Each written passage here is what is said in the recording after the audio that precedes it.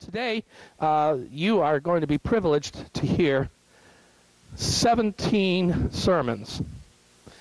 17 sermons, um, all full length, of course. Um, no, 17 short sermons for the year 2017. That's why my wife says, Why did you pick 17? And I thought, Because it's a prime number. Because it's 2017. So I will go be going through those pretty quickly, and um, I have some uh, copies printed up of the 17 statements if you would like to have one, but you have to wait till the end of the service. So let's begin with five quick sermons. Are you ready? These are going to go by fast, so pay attention.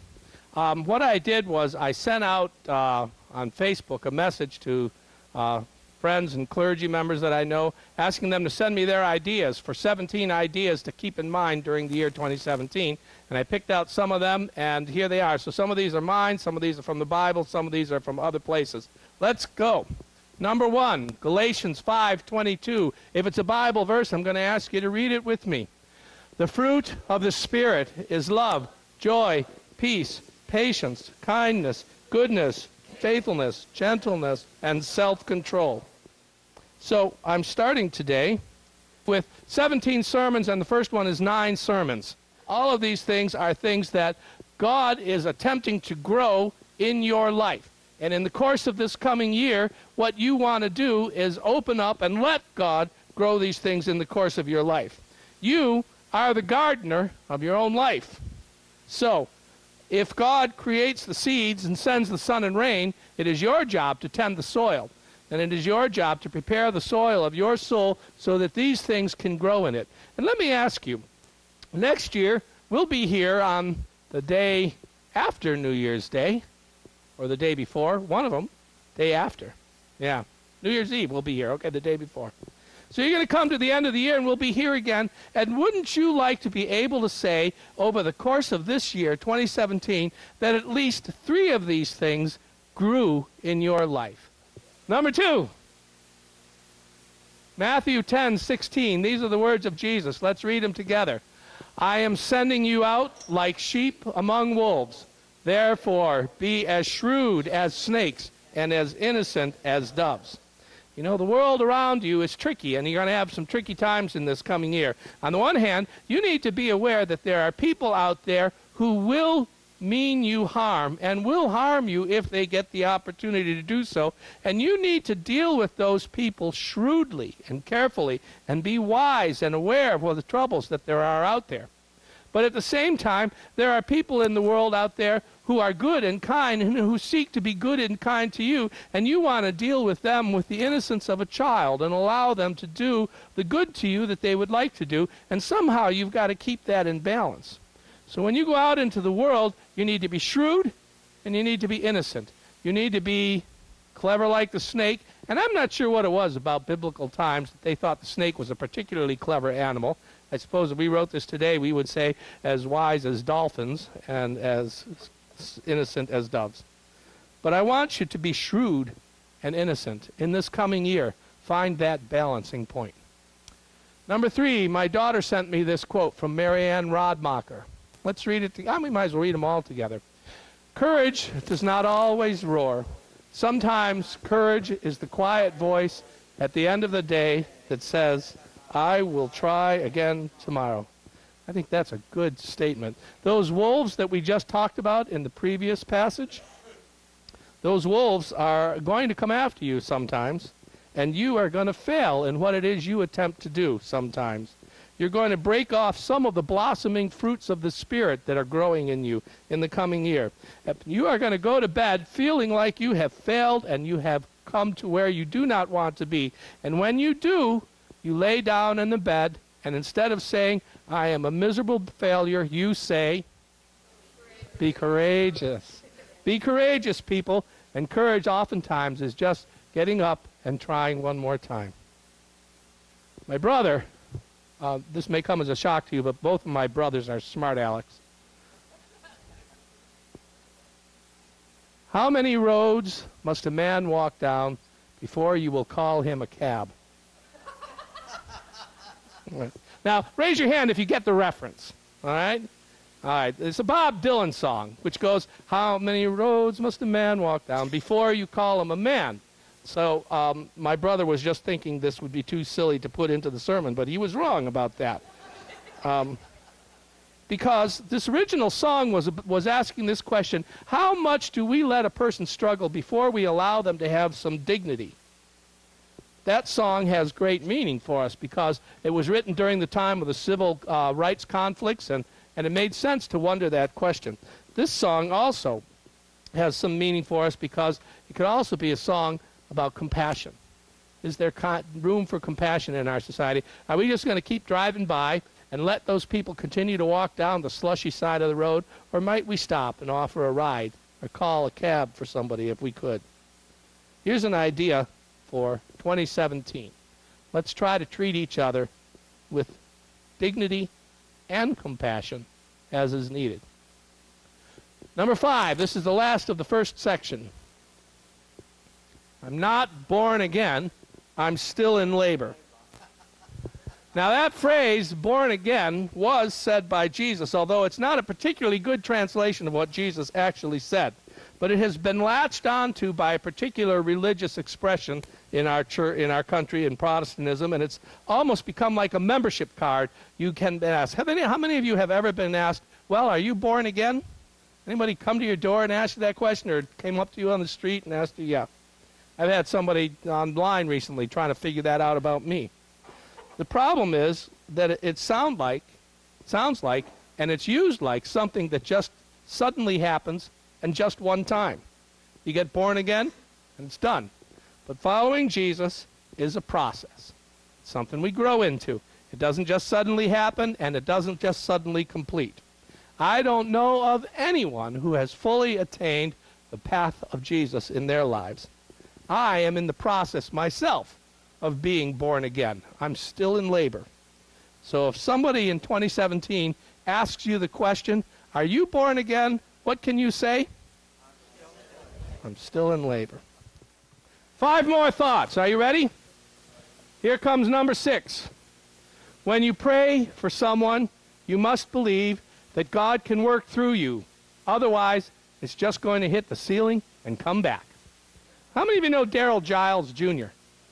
Not just me. I went to high school with the guy. Haven't seen him since, but I see him on Facebook, and he sent this along. I thought that's pretty wise right there. Um, I love this point. Our prayers in 2017, what we pray for cannot be, God, fix this. Our prayers instead should be, God, help me fix this. That's what we should be praying asking God to help us fix things because that is the way God works. You know the story of God uh, saying to Moses in front of the burning bush? God says to Moses, I have heard the suffering of my people. I've heard them cry out, and I have decided to save them. So you go down and tell Pharaoh to let them go. It's not God saying, so I'm just going to make Pharaoh let them go. It's God sending someone along to do it. And that is really what we have to pray about. If we're going to pray for someone or some situation, we need to be prepared to put ourselves into that equation, or the prayer hits the ceiling and bounces back. Number seven, say it with me. Sometimes we don't recognize the noise around us until it stops, and all we hear is silence. So you've got the TV on in your house, and somebody's been watching it, but right now, kind of everybody's walked away, and everybody's doing something else, and the TV is still blaring away, and everybody's starting to feel a little edgy and annoyed with each other, and they're starting to snap at each other until finally somebody goes over and hits the button and turns the TV. And the silence is deafening. Have you noticed that? Sometimes we have all this annoying sound going on, and we don't hear the silence. And January, in some ways, is the most silent month we've got because everything is covered with the snow and the sounds are muffled, and we need to experience the silence sometimes. How many of you are not getting enough silence in your life besides me? Who else is not? Yeah. We need to find a way to do that. We need to be able to turn that off, turn the noise off, because sometimes really all it is is just noise my last line was sure to make sure that you get your minimum daily adult requirement of silence and kid requirement too. This one, read this one with me. This is a good one. Guilt is the gift that keeps on giving. It's a package you can open every day of the year. Guilt uh, is ours once we pick it up. And it may well be deserved, but you can't live in it. You just can't. You have to let it go at some point. You have to let yourself be forgiven at some point. If you are holding on to guilt and you won't let it go, then what you are saying is that Christ died for no reason because the guilt is nailed to the cross and should be left there. Let yourself be forgiven this year. You may still carry the sorrow or the regret for what you have done, but the crushing load of guilt that tells you you do not deserve to be loved or repent uh, or respected, that has got to go. Let it go. Get rid of it. That gift needs to get put out by the curb with your dead Christmas tree in a few more days. Okay? This is uh, a literary quote coming up. Number nine. Read with me. Some believe it is only great power that can hold evil in check, but that is not what I have found. It is the small, everyday deeds of ordinary folk that keep the darkness at bay. Do you know who this was said to? What character from literature this was said to? Who? Yes, which? You know? This is to Frodo. This was said by Gandalf to Frodo. How many of you have no idea what I'm talking about? Raise your hand if you don't know. Okay. It's about half. From the book The Lord of the Rings, one of the great acts, works of literature of our time. Um, Frodo is a hobbit, and a hobbit is just a small creature called halflings, about the size of a child, and they're, uh, they have no magical powers whatsoever, other than they somehow seem to be determined to keep trying to do what they need to do. This is a good quote because what Tolkien came to find out was what the Bible also says is that the ordinary, everyday acts of courageous people are the things that make the difference in the world. We often like to say it is our armed services that have made us free, and there's something to that, but we need to remember that there is much else that goes on. The reason we are free today is because of the teachers in the classrooms and the EMTs on the ambulance and the physicians and nurses in the hospitals. We are free today because of the bureaucrats in offices making decisions that protect the rest of us. We are free today because small people do ordinary things that turn out to have our extraordinary results. And if you are one of those small people, then don't stop. We need what you're doing. You are the bulwark against evil in this world. Number 10. Jesus said this one No one can live only on food. How do you know it? What's the way you've heard that phrase said? Yeah, man cannot live by bread alone. This is from a modern translation. No one can live only on food. Jesus said that when he was where? Doing what? Yes, Monty's right. He was out spending 40 days out in the desert, and he had no food. He went out there because he wanted to focus solely on his uh, spiritual life. So he went out into the desert. He didn't eat. Maybe um, that is something we need to think more about. When he prayed uh, out there in the barren land, he recognized that we have appetites, and the appetites are good. They keep us safe. They make us look for things that we need. But we don't always have our appetites in the right order. And we need to remember that in our daily struggle, it's the spiritual matters that we face and battle that are as important as anything. You need to feed your soul in 2017. You need to feed your soul in 2017. Here comes the last seven. Are you ready? Oh, we're doing good time wise, too. Number 11. This is the uh, most controversial one, perhaps, but it's, it's, well, here it is. Read it with me, if you will. If you want to understand any problem in America, you need to focus on who profits from that problem, not who suffers from the problem. I think this is a good one because it's worth keeping in mind. More of a political statement, perhaps, than a spiritual statement, but as in most things like that, there's overlap. If it's true that it's the small, ordinary people and things that God uses to move forward in this world, then we need to be careful about blaming the small and the ordinary for the troubles in the world. Let us begin with an inclination towards working with the poorest, the smallest, and the weakest. It is unlikely, it seems to me, that the problem in the world is caused by the refugees. It may be caused by those who are making refugees. So let's make sure when we focus on where the problems are, we do not blame the poorest and the weakest among us for the troubles. And you can go from that right to this one. Say it with me. Whoever is without sin, cast the first stone. What's the situation where Jesus says this? Who knows what has happened? Yes. Yeah. Yes. So they've got a woman that may be a prostitute, maybe committed adultery. They bring her to Jesus because the people in town, the, the people want to stone her. What people want to stone her? Who's in the circle? Yeah, you know who it is. It's the powerful people in town. So the powerful people catch the weakest person and bring her, and they want to kill her, and they want Jesus to approve of that.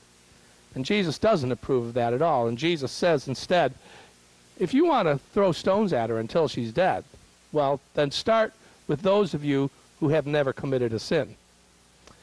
How many first stone throwers do we have here among us today? Anyone? Anyone? No? Jesus was pointing out that the particular problem was not her sinfulness that was the at, at issue, but it was the judgmental, unfeeling sinfulness of the men of position and power that was the problem. Here's a good idea for the new year. Let's remember this. We have all fallen short of God's ideal for us. Every one of us. Here's one my other brother sent me, who is also a smart aleck, but this time he wasn't. A strange game. The only winning move is not to play. Anybody remember that one? Yeah, okay. It's from a movie from 30 years ago, a movie called War Games. And the story of the movie is about a computer that had been designed to uh, practice out what would happen in the scenario of nuclear war and figure out as it played these war games what would actually happen. And uh, the computer accidentally, of course, initiates an actual war instead of just practice. And to shut it down, they have to teach the computer that uh, nuclear war is like tic-tac-toe. Play tic-tac-toe? Do you ever play with somebody and nobody ever wins? The game goes on and on and on because nobody can ever win, all right? And that's how they teach the computer. And finally, the computer says, an interesting game. The only way to win is not to play. And that is true for nuclear war, and it is also true for your relationships with your family members. You are playing games sometimes with them. There's all kinds of games that families play. And when you play games and you have a winner, what do you also have? Yeah. The only way to win is not to play. Micah 6 8. Could hardly do this list without this verse. And what does the Lord require of you? To act justly, and to love mercy, and to walk humbly with your God. How many of you feel like over the course of 2017 you could remember just three things? If I asked you today, just remember three things, do you think you could manage it? Karen, is that too many? I, I know you're. well, Karen, Karen is currently carrying an awful lot of things in her mind right now. You might, some of those might have to, you might have to delete some items. Yes, and and put this in. Yeah, find somewhere. Three things. Just remember three things, folks. All you have to do is remember three things as you go about your life. Number one, act justly. Just try to work for justice for all people.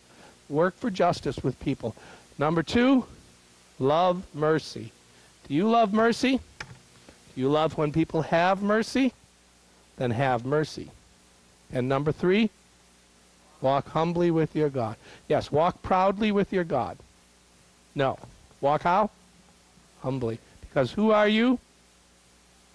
Wait a minute. Who are you? Yeah. So walk humbly with your God.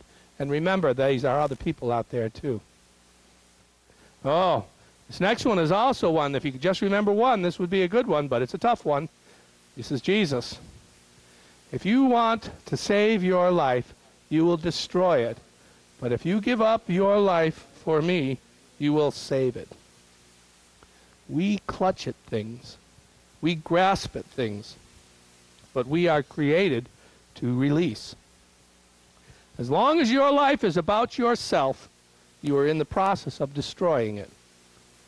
When life is about serving Christ and serving people that Christ loved, then we begin to find the things that we really need. Here's a good idea for the coming year. You ready? Simply this live not for yourself, but for Christ. Do that in the coming year. 16. I love this one. Every saint has a past, every sinner has a future. Because among us in this world are many saints. There are saints all around us. In fact, I happen to know that there are some saints right here in this room. Are there not? Look around. Don't you see a few here and there? There are saints here. And all I can tell you about any one of these given saints, uh, who should I pick? I won't pick. But I could pick one of you saints and I could have you stand up and say, Here is a saint who was once a sinner. Because all saints were once sinners. And among us in this room, besides saints, guess what else there is? Sinners. There are plenty of sinners here in this room, plenty of sinners all around us. And I could pick out any one of you. Well, I won't do it. I could pick out any one of you sinners and have you stand up and say, Here is someone who will one day be a saint. Because every saint has a past from which they have moved, and every sinner has a future possibility to which they can go. I love that. Um, that's from our conference minister. She said it in a sermon that I heard. I don't know if she was quoting, um, but she said it, and I wrote it down, put it on my bulletin board. Number 17. Matthew 6:33. But seek first his kingdom and his righteousness, and all these things will be given to you as well. I somehow missed changing that word because I want you to be clear. We're talking about God's realm and God's righteousness. Seek first God's realm and God's righteousness, and all these things will be given to you as well. Now, this comes right near the middle, well, kind of about the two thirds point of Jesus' famous Sermon on the Mount, in which Jesus is trying to tell all the things that he uh, wants you, to know and, and the things that you are worried about. Is anybody sitting here today got to worry about something? Is it on your mind, something that you're worrying about? Anyone besides me, anyone worrying? Okay. I think most of us are. And that's okay. It's not a sin to worry. It's just something people do. But Jesus is saying you got to remember that sometimes you're worried about things that you don't really need. What you need to be worried about is this Are you living now in heaven? Are you in God's realm right now? Heaven is not a distant place or a distant time. It's here and now. And Jesus' message, his entire message was, you can live in it right now. Seek the kingdom of God. Seek the realm of heaven. Seek God's world. Seek God's way. That's the most important thing you can do in 2017. I like what Joanne's going to do about getting up every day and thinking about what she can do for nice for somebody else, and that's part of this process. Because what if you woke up every day and you looked out the window or around your room and you said, "Where is the realm of God today? Where is it? Where is it? Find it. Figure out where it is, whatever that means to you." Find the realm of God and live in it. If you want the rest of your life to shape out over 2017, that's where you start. And you never finish with it either. That's the thing that we put most important in our lives. Find the realm of God, live in it. That's what's most important. In other words, as the King James Version put it, Seek ye first the kingdom of God and his righteousness and all these things will be added unto you. Hallelujah, hallelujah. Again, seek ye first the kingdom of God and his righteousness, and all these things will be added unto you. Alleluia, Alleluia. 17 sermons in one day. It's a new record at High Street Church. Next year we'll break it.